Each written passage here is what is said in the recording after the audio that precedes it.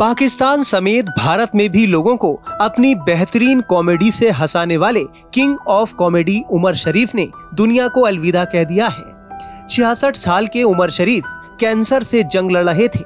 उन्हें बेहतर इलाज के लिए एयर एंबुलेंस से कराची से वॉशिंगटन ले जाया जा रहा था।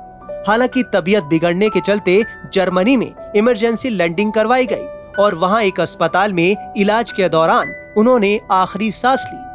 10 सितंबर को एक पाकिस्तानी टेलीविज़न होस्ट ने उमर का एक वीडियो जारी करते हुए पाकिस्तान के पीएम इमरान खान से उनका ट्रीटमेंट करवाने के लिए मदद मांगी थी। वीडियो सामने आने के बाद भारतीय सिंगर दलेर मेहंदी ने भी इमरान से उमर शरीफ का इलाज करवाने की अपील की थी।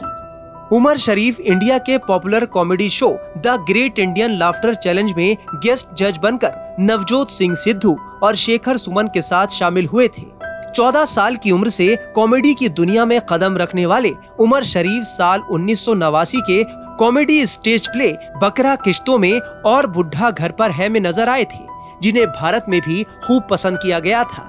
इसके अलावा उमर शरीफ का द शरीफ शो भी काफ़ी पॉपुलर हुआ था। मशहूर कॉमेडियन कपिल शर्मा समेत कई भारतीय कॉमेडियंस ने उमर शरीफ के निधन पर गहरा दुख जताया है। उन्होंने उमर शरीफ की तस्वीर शेयर करते हुए लिखा अलविदा लेजेंड